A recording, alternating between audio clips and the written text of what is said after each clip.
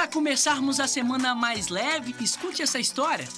Há menos de um mês, a Ana Paula e o marido pediram a nossa ajuda para tentar reencontrar a Apple.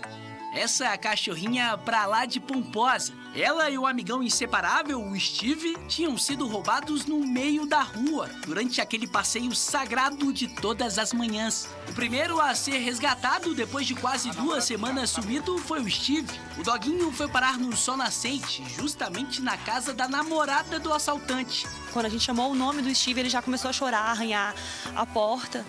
E aí o policial bateu, uma pessoa abriu e o Steve já pulou pro nosso colo. Agora, depois de muita aflição, quem finalmente está de volta é a Apple. E olha que a bichinha tinha sido levada pra longe, viu? Pra águas lindas de Goiás. Na hora que a moça abriu a porta da casa, aí eu a vi, aí eu falei, Apple, Apple. Nossa, gente, ela correu e deu um pulo, eu quase caí. E aí ela ficou me lambendo toda. Nossa, foi muito emocionante, muito. Mas quem deixou ela lá ainda não foi identificado. Pra família ficar completa mesmo, só falta o paizão retornar logo de viagem.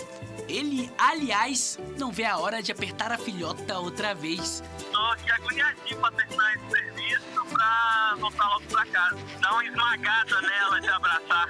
Queria até agradecer aqui a todos vocês que sofreram comigo, que compartilharam. Se não fosse por isso, eu não tinha conseguido achar meus filhotes.